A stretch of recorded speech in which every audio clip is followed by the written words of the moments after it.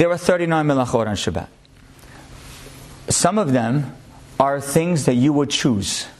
Everyone here, if I told you, pick 39 things that are not allowed to be done on Shabbat, you would pick. You can't plow, and you can't harvest, and you can't build. You would, everyone here would pick that. But no one here would pick borer.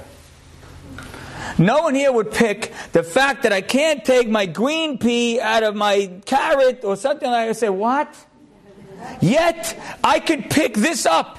I could pick up a hundred pound box and bring it across the room on Shabbat, and that is not a sin. But to take the green pea out of the carrots is a, a catastrophic sin. How does that make sense?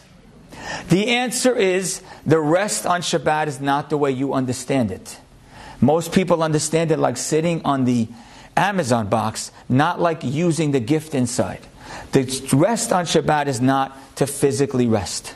The rest on Shabbat is to spiritually connect. The rest on Shabbat is to stop creating and start believing.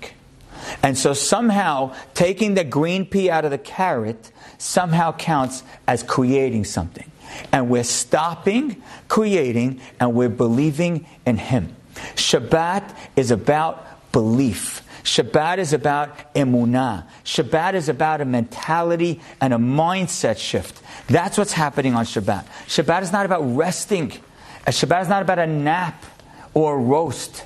That's not what Shabbat's about. Shabbat is about uh, emunah and Hashem, to trust Him, to stop the way He wants me to stop. Not to stop work, but to stop His work. And there's a big difference.